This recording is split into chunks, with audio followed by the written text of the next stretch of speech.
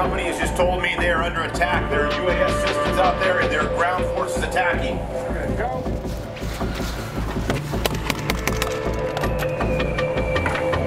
There's drones. There's drones.